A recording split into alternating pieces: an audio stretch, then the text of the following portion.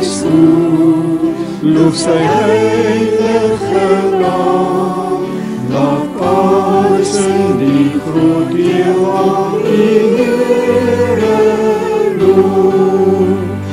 Ek wil die Here loof, loof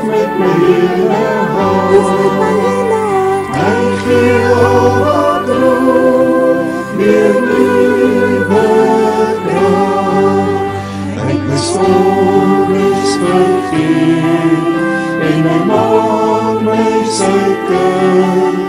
Laat alles in die groot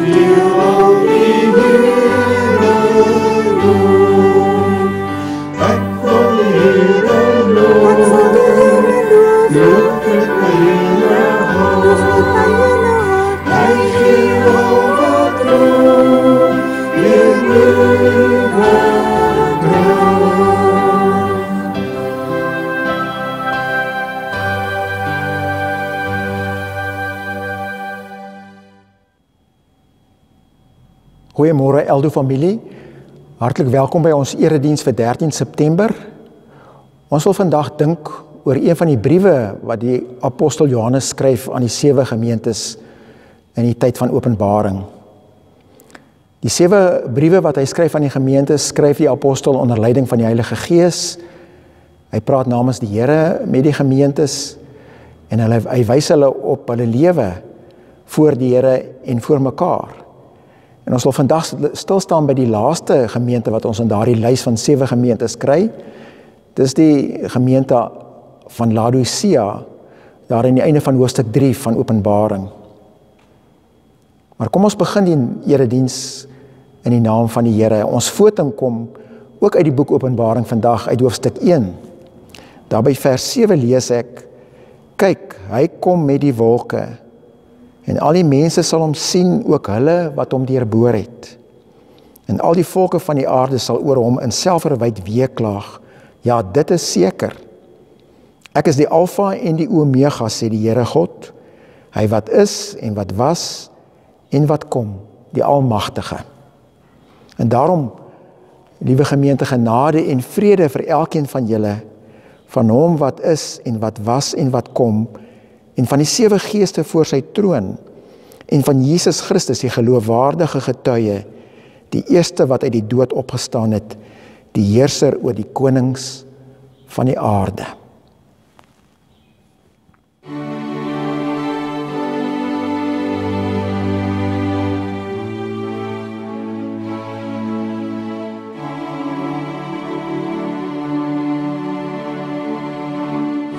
Maak my nou stil, Heer. Ek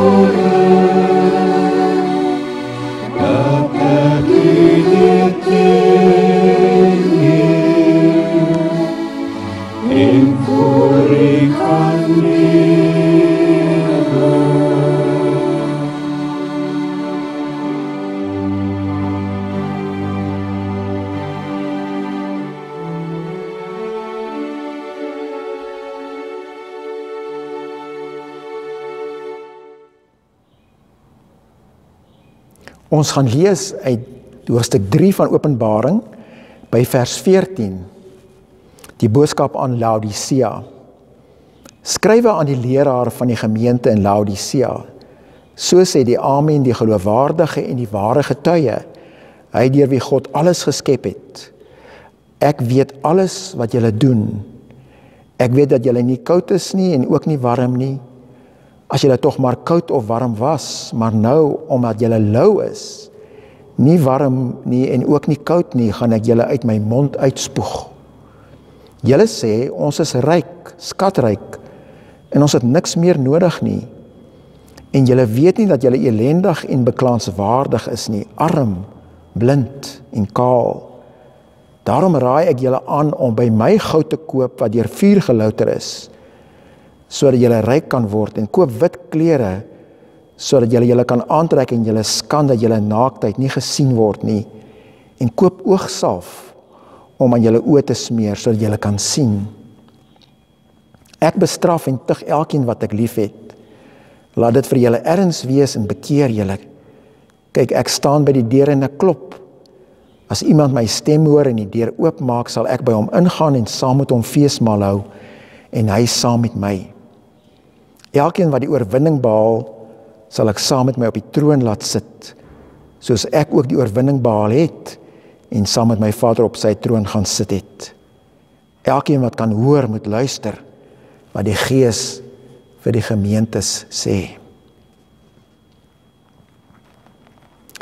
As ons kyk na hierdie briewe in die boek Openbaring, dan sien ons hierdie sewe briewe wat die apostel Johannes vir ons hier neerpen volgens 'n sekere sin in breëweg 'n patroon. Aan die begin van elke brief is daar 'n verwysing na Christus as die opperherder van die gemeentes. En dan kom daar gewoonlik 'n aanbeveling of 'n lofprysing oor dit wat die Here goed vind in die gemeente. Dit word dan gevolg deur 'n veroordeling as dit uh, in die gemeente nodig is. Die Here gee advies, hy gee raad en hy waarsku ook die gemeentes. En aan die einde word dit dan gewoonlik afgesluit met 'n belofte van die beloning wat daar uh, op sy gesit is vir die wat volhard. As ons dan na hierdie brief aan die Laodicea gemeente kyk, dan sien ons die uitsondering hier is daar is geen lof of goedkeuring aan die begin van hierdie brief nie. Maar daar's wel hier aan die einde se kant hierdie besonderse uitnodiging van vers 19 vers 20 wat sê kyk ek staan net deur en ek klop. Daardie baie bekende vers uh in die Bybel vir baie mense. En daar's ook van die uitleggers wat sê maar hierdie van vers 19 af moet ons eintlik sien as 'n slot wat op al die sewe gemeentes gegee word. Maar tog uh, moet 'n mens dit ook deel maak van hierdie laaste gemeente, die brief aan die Laodicense. Wat vir 'n mens kan help om hierdie brief en hierdie woorde wat hier geskryf is te verstaan? Want Openbaring is mos maar 'n moeilike boek wat in baie uh beelde praat en baie getalle simboliek het. Is die agtergrond uh van hierdie gemeente dit is goed as ons dit sou kon uh, bietjie onder die knie kry. 'n Mens kan sê dat hierdie gemeente en ons sien dit uit wat in die brief staan geroem het in drie sake. Hulle het geroem in hulle rykdom. Hulle het geroem in die tekstielware, die tekstielindustrie wat daar in die stad aan die gang was en hulle het ook geroem in die gesondheidsprodukte wat hulle as 'n gemeenskap voorberei wat daar eh, vir hulle tot hulle beskikking was. Uh hierdie stad was ryk geweest. Die mense wat daarin gewoon het was welvarend, meer as van die ander stede in die weste kant van Turkye, van die antieke wêreld van destyds. Dit was omdat hierdie stad gelê het op twee handelsroetes. Een het geloop van oos na wes deur die stad en 'n ander een het van noord na suid toe geloop. En hierdie stad het daar in die nodale punt gesit en kon dus handel dryf met al die mense wat baie gekruise deur hierdie stad. Hulle was so ryk geweest dat uh daar in die jaar 60 na Christus was daar 'n groot aardbewing in daardie weste kant van Turkye wat meeste van die stede verwoes het wat daar uh, bestaane destyds. En dit was dan algemeen geweest dat die stede wat so deur die aardbewing getref is en verwoes is by die Romeinse senaat in Rome kon aansoek doen vir geldelike hulp vir die heropbou van die stad. En almal het dit gedoen behalwe Laodicense. Hulle was die ryk mense. Hulle het self uit hulle eie fondse, uit hulle eie bronne kon hulle uh, die stad herbou. Dis hoe ryk hierdie mense was. En dan was hierdie plek ook uh, baie geskik vir skaapboerdery. En die skaapras wat hulle daai tyd daar gehad het, waarmee hulle geteel het en wat hulle uh, mee gewerk het en verkoop het en die, in die wol ook geoes het en verkoop het, was uh, uh, uh, baie bekend gewees in die destyds bekende in die uh, destyds se wêreld. Sodat uh, hierdie hierdie wol uh omgesit is in klereprodukte en dit was 'n swart wol wat die skape geproduseer het. En wêreldwyd was hierdie deel hierdie streek bekend vir hierdie wol wat hierdie skape geproduseer is hierdie swart glinsterwol waarvan verskeie klere uh, kledingstukke gemaak is. Dit was hulle tweede claim to fame as 'n mens dit so kan stel. En die derde een waar waarin hulle geroem het derde saak was die mediese skool wat in hierdie stad bestaan het. In die antieke wêreld uh, was daar baie keer mediese skole om mediese navorsing te doen gestig rondom stede en hier was dit die geval dat hulle al veral bekend was vir twee verskillende salwe wat hier geproduseer is. Dit was 'n oogsalf en 'n oorsalf wat te koop was en uh, mense het na die stad toe gestroom juis om deel te kry aan hierdie medisinale produkte. Hulle het gedink die mense in die stad en natuurlik ook die gelowiges in die stad wat mos deel is van die omgewing deel van die gemeenskap van die samelewing van die stad het dan daarin geroem. Hulle rykdom, hulle klere wat hulle kon maak en hulle medisyne wat hulle kon produseer. En dan kom die Here in hierdie brief aan die Laodisense in Openbaring 3 en hy sê ek ken julle. Ek weet alles wat julle doen. En daarmee wil hy eintlik sê hy oordeel anders oor hulle. Hy kyk anders na hulle as wat hulle na hulle self kyk. En ek dink liewe medegelowiges, ons leef in 'n tyd waar die Here ook anders oordeel oor die wêreld En hy ons eintlik 'n bietjie help op daardie pad om ook anders te dink oor onsself en oor die wêreld waarin ons ons bevind.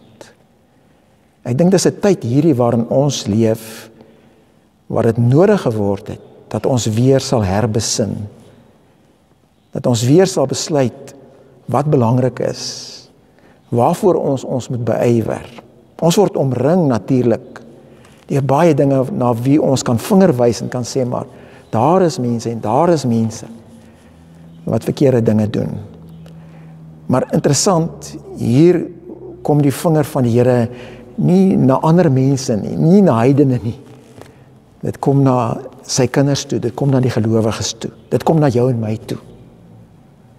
En miskien moet kan ek net hierdie ding by jou lê vir oggend om te sê as as jy oor jou eie lewe dink en jy dink oor wat is pluspunte en wat is negatiewe punte? Miskien dink die Here anders oor as ek en jy oor ons eie lewens.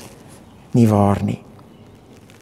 Want kyk wat sê hy, wat is sy antwoord op dit wat hulle dink oor hulle lewens?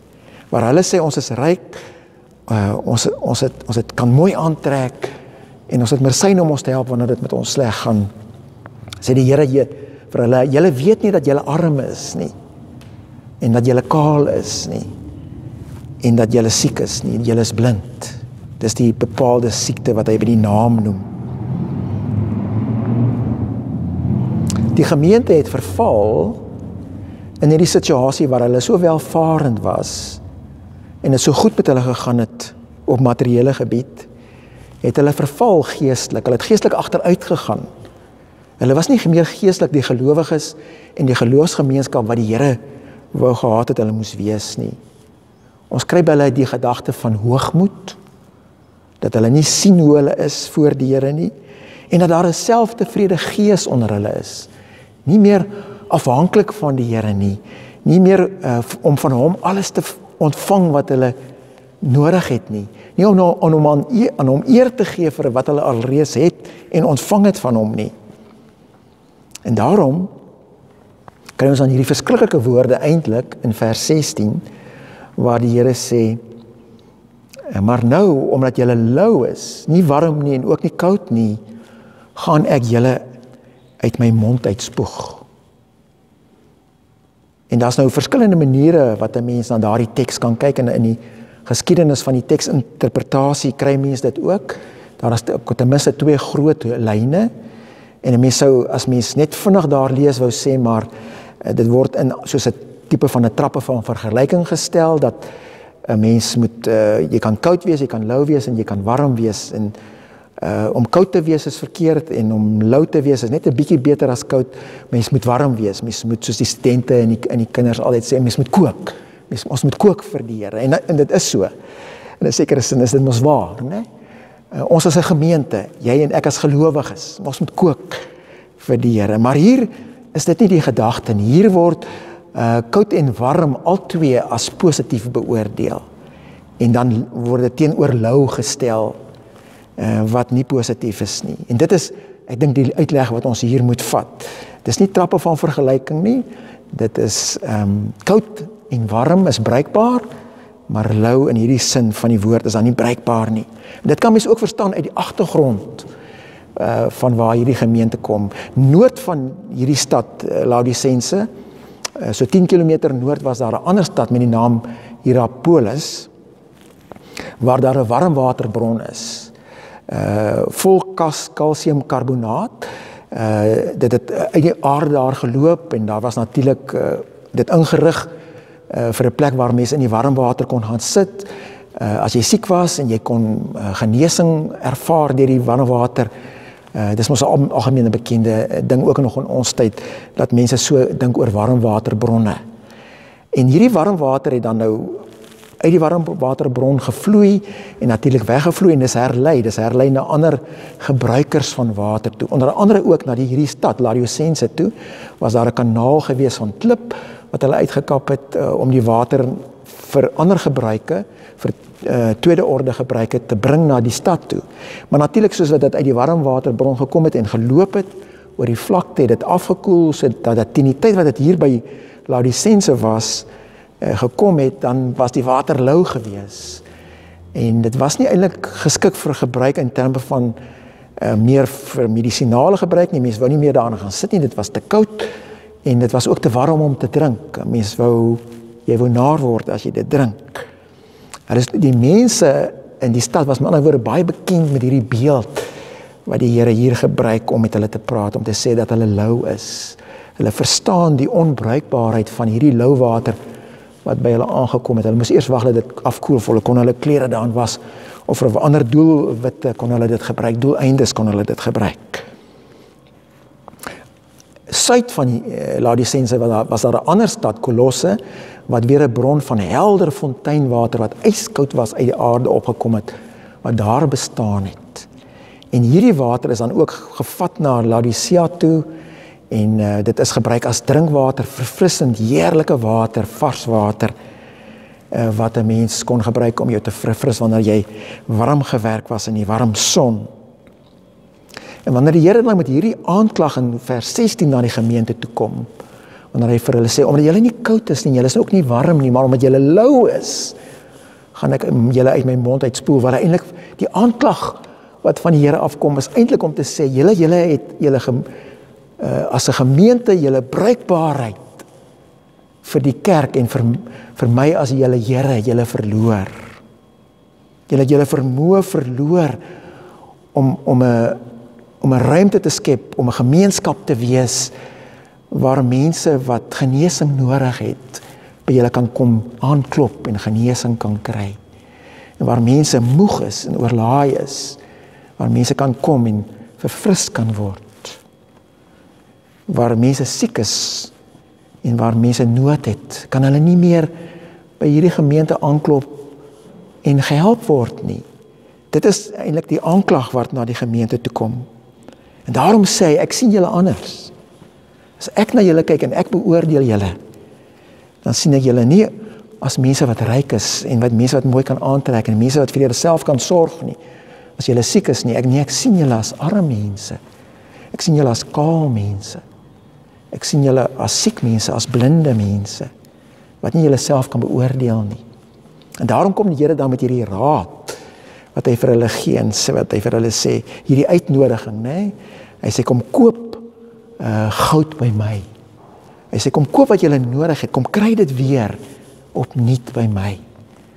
En dis wonderlik uh liewe medegelowiges, as ons net vir 'n oomblik stil staan en dink as ons ook op daardie punt sou wees vandag, as ons ook in daardie tyd vir ons bevind dat die Here in sy genade nog nie die finale streep getrek het nie, maar dat hy ook vir jou en my sê kom kry by my wat jy opnuut nodig het. Dat hy vir ons as 'n gemeente wil sê kom kry by my wat jy uh, nodig het. Kom koop goud by my. Uh goud wat uh, gelouter is, goud wat gesuiwer is. Want onthou, 'n mens kan die lotto wen en dan jy baie geld. Maar dit maak jou nie ryk nie. Om ryk te wees in die Bybel is om ryk te wees aan God. Om ryk te wees in hom. En daardie rykdom kom nie deur loutering in ons lewens. Gelouterde goud kan ons by die Here kry, die ware rykdom. Om nie ryk te wees in die wêreld nie, maar ryk by God. En mens moet 'n bietjie daaroor dink. En dan sê hy ook, kom koop klere by my. Nee. Uh, kom koop wit klere sodat jy dit kan aantrek en jy skande jy naaktheid nie gesien word nie. Onthou in die antieke wêreld om naak te wees was 'n groot skande om naak gesien te word deur 'n skare in die openbaar. Dit was totaal onvanpas gewees. Dis nie soos vandag nie. Dit was 'n skande, dit was beskou as iemand wat naak was was onder die oordeel van God gewees. Dit was hoe dit beskou is.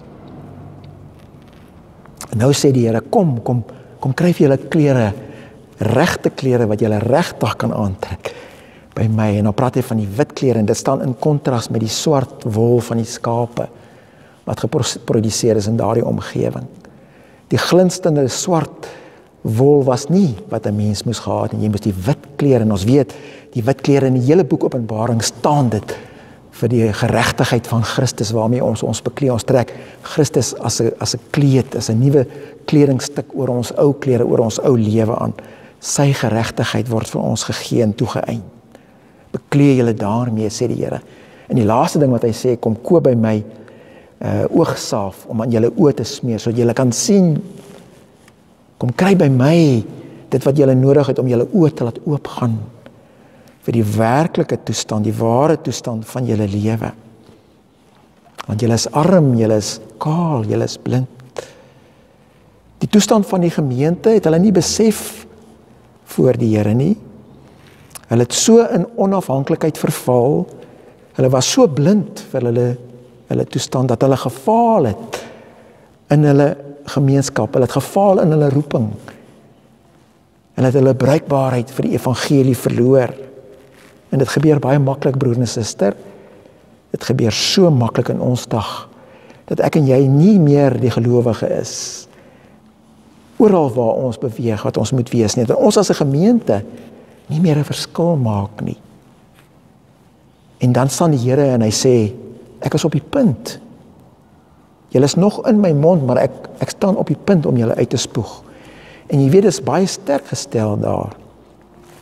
Want die woorde wat hy daar gebruik, die woord uitspoeg, se stam is eintlik braak. So wat hier eintlik staan is die Here word naar gemaak deur die mense in Laodicea wat so wil roem. Hy sê ek wil opgooi en ek gaan julle uitspoeg, ek gaan julle opgooi. Maar dit het nog nie gebeur nie. Dit is nog daar, daar's nog tyd, daar is nog kans. Hierdie tyd van die korona waarin ons lewe, Ek dink ons ons is ook so op 'n mespunt. Ons staan ook in 'n tyd waar daar eh uh, vrae gevra word en keuses gemaak moet word. Is ons koud en of is ons warm of is ons lou aan die ander kant?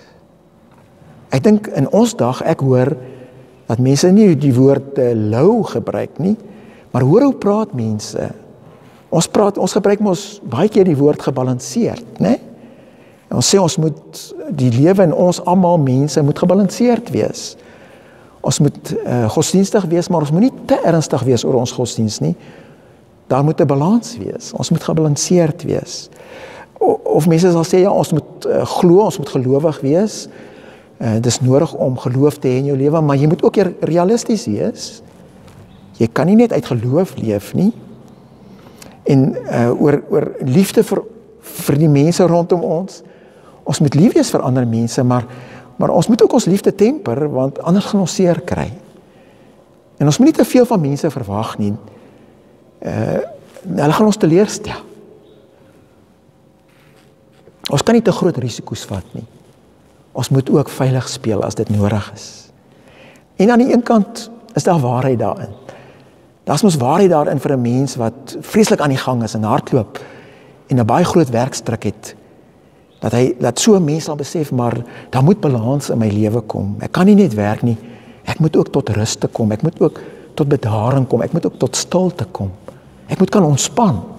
Ja, dis dit is goed dan. Nee, om te sê daar moet balans wees. Of as ehm um, uh uh mens jou jou uh beleggings moet bestuur. Uh mense wat wysheid het oor oor geld en waar ons ons beleggings sit sal sê, maar ons kan nie al ons geld in een mandjie sit nie. Ons moet met wysheid, ons moet oorleg, daar moet balans wees. Jy moet jou portefeulje versprei. En dit is waar. Dit daar is wysheid daarin. En 'n mens kan ook met liefde, in liefde met ander mense, moet jy ook wysheid hê om te verstaan wat jy kan verwag en hoe jy moet leef en wat die Here van jou verwag. Dit is so. Maar maar as 'n mens sou met daardie argument kom van balans en jy sou sê maar dan moet uh, balans wees uh, in jou liefde vir die Here. Jy kan nie die Here bo alle dinge lief hê nie. En mense moenie meer so belangrik vir jou wees nie. Uh, jy moet maar so 'n bietjie jou liefde laat afkoel so jy net bietjie weer normaal lyk like, soos al die ander mense op die planeet lyk. Like, dan sou dit verkeerd wees. Daardie tipe van balans is nie waaroor die Bybel praat nie. Dit is daardie louheid wat in mense se lewens kom en wat in ons lewens ingekom het. As mense sou sê te veel geloof in die Here Jesus is nie goed nie, dan kan ons nie daarmee saamgaan as 'n kerk en 'n geloofsgemeenskap nie. Die evangeliese krag lê in die ekstreme aard van die boodskap van die evangelie. Hoor u? Die evangeliese krag lê in die ekstreme aard van sy boodskap. En die evangelie werk in mense se lewens en in 'n geloofsgemeenskap. Werk dit waar dit yskoud of vuurwarm is, bruikbaar is vir die Here. Nie waar dit lou is nie, waar dit lou geword het en middelmatig geword het en sogenaamd gebalanseerd geword het. By geloof is 'n strewe na balans. Dit kan baie gevaarlik wees. Ons neem daarvan kennis oral oor die wêreld klink dit mos op. Dit word onder die noemer genoem van geloofsgelykheid of geloofsvryheid. En dit is goed. Ons glo ook daaraan dat mense in geloofsvryheid kan kan lewe. Maar wanneer ons geloofs gelowe gelykstel en ons nie vanuit die Bybel praat oor ons geloof nie en die standpunte het wat ons het moet hê vanuit die Bybel oor ons geloof nie. Want ons maar net vir mense kan sê, "O, ek is gebalanseer, jy het jou geloof en ek het my geloof."